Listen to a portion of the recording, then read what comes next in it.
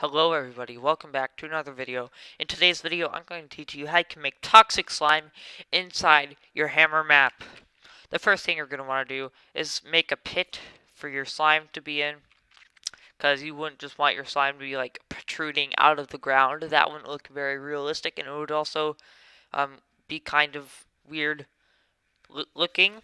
But anyways, um, you'll want to fill up your pit that you've created with a brush and you'll want to texture it with the no draw texture which I have already had selected. Then you'll want to go to your texture browser and select the top face and only the top face and type in toxic slime. You'll have all these different toxic slime textures and I will just use this one.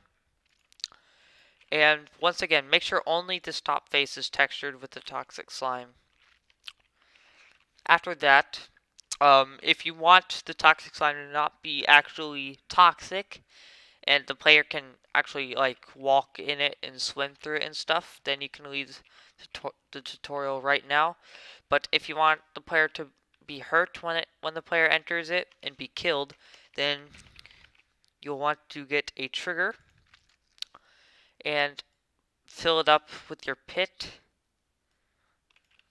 and then go to the trigger brush and press Control T. I'll tie it and then type in trigger underscore hurt. I cannot type. There we go. And now I will name this, um, I'll name this slime hurt one.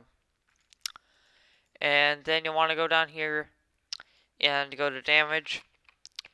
Put damage to 1000 and damage cap to 1000 and if you want things to um like be disintegrated then you can check you can check some of these flags but I will leave these unchecked because only want the player to be hurt in this case. And then after that we will just run our map like so. And Hopefully, if we have set everything up cor correctly, the slime should appear. Alright, so here's our little map. And yes, here's the slime. It looks normal, and we can kind of see to the bottom. And if we jump in, we take damage and we die. There we go. And you could um, probably you could hook something up to the trigger hurt to like maybe make the maybe make the like make GLaDOS say something, comment on your death in the slime or something. But um, that's it for this tutorial. So thanks for watching and have a good day. Bye.